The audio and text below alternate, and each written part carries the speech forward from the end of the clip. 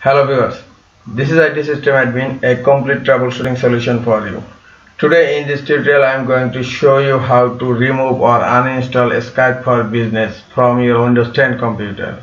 It's a very important and also a very useful technique so don't forget to watch full video.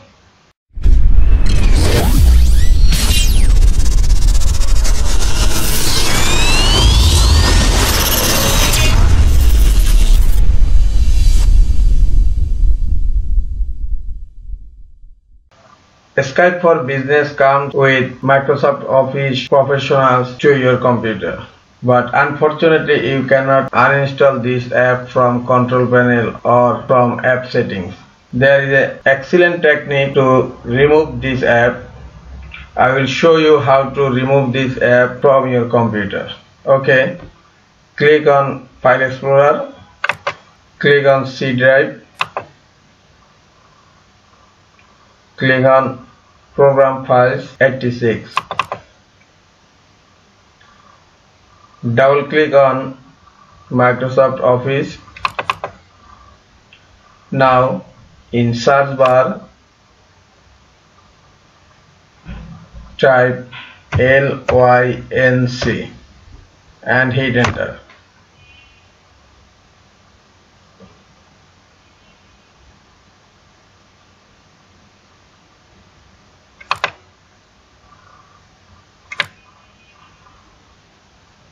you have to remove all of these files from your computer. Okay? Press ctrl plus a. Select all. And right click your mouse and click on delete.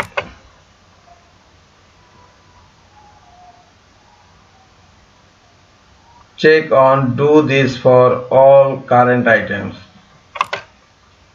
and click on continue.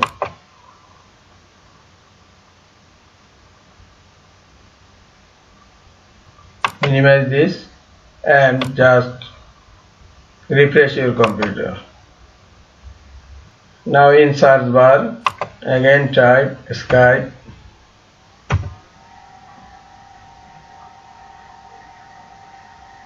Click on Skype for business Look, the item links.exe that is shortcut refers to has been deleted.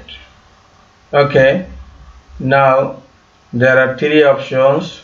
If you want to restore all these files back, you have to click on restore icon. But in my case, I have to delete it. Okay, now click on delete it okay again refresh your computer. Now click on search bar and type Skype for business. Look and click on Skype for business.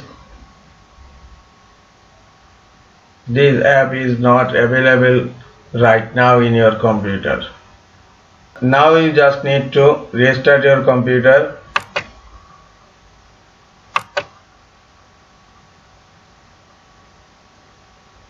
After restart your computer, Skype for Business uninstallation process has been finished. This is all for today. Hope this tutorial is helpful for you. Keep watching for next tutorial. Thank you very much.